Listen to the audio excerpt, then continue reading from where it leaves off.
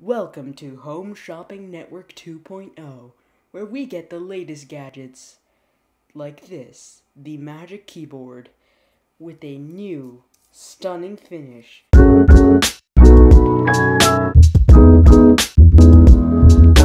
In all fairness, the Magic Keyboard is a great device for typing. It's really great and optimized for Mac. So much more improvements than this.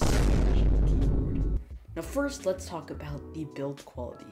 The build quality is very great. It's super durable. There's no flexing, obviously, and it's honestly been pretty great for the past few weeks.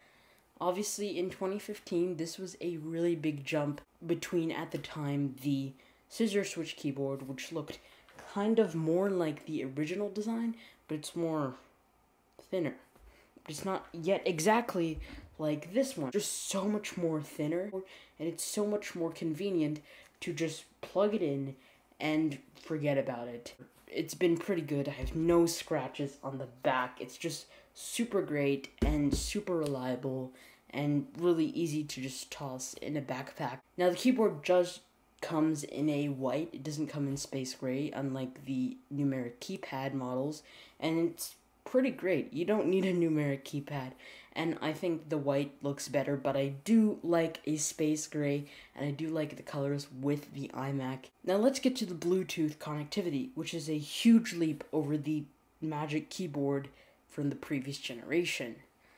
The Magic Keyboard pairs in just two seconds compared to the previous generation, which takes 5 seconds or to 2 minutes because it just wouldn't show on your Mac. But this one, it just pairs in an instant, and you can literally just pair it zip to your iPhone, zip to your iPad, and it's just super fast. Now let's get to the keyboard quality. First, I think the scissor switch is a very great step ahead. The keyboard quality is phenomenal. It's the same keyboard found on most Macs these days, with the Macs having a little bit more depth in the keys compared to this one, which has more lighter keys. And it doesn't have the spotlight dictation and also the do not disturb key.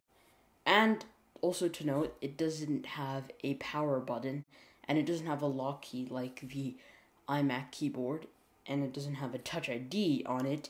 That's only on the iMac keyboard. And I believe that Touch ID, a power button, and a lock button is just more convenient than just having an eject key. Because all you need to do with it is just is just an eject and USB, and and then that's it. The eject key just doesn't make sense in a world with M1. Every single key is full sized except the arrow up and arrow down key, but on the numeric keypad models, every single key is full sized. Now, let's get to the question should you buy the Magic Keyboard? And my answer to this question is totally. If you're a Mac user, you should definitely try getting this keyboard. It's just super convenient.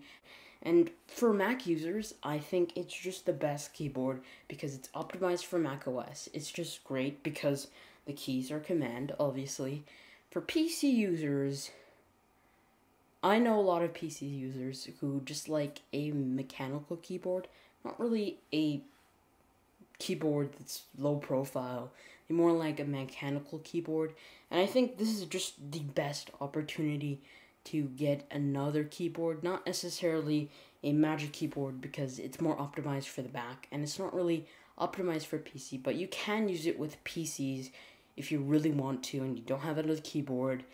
But I think if you want the Mac experience, just super optimized for Macs, just really want those low profile keys, and it's just great for people who just need a keyboard on the go, and it's not too expensive. Now, there are other alternatives, obviously, like the Logitech keyboards, which are arguably kind of the same for a lower price, but obviously you just get that Apple technology. And yes, you can pair it to other devices, and it pairs pretty instantly and quickly, just like the Magic Keyboard. But at the end of the day, I think that the Magic Keyboard is just really magical and really the best keyboard for Mac users Obviously, as I said before, it's really optimized for the Mac and it has fast Bluetooth pairing and you can pair it to your iPad and your iPhone and it's just super easy to do that obviously because it's an Apple product. And I just believe that spending the extra buck will make the Magic Keyboard the best keyboard for people who need a keyboard and can just get one at their fingertips. And I just believe that the Magic Keyboard just gets those things and just gets the best experience possible for the Mac. And that's why I think the Magic Keyboard is worth it and is worth your time and is worth the money that you pay for this and I believe everyone will enjoy this keyboard. And that's going to do it for this review guys. If you guys like the video, please do subscribe and I'll see you guys next time.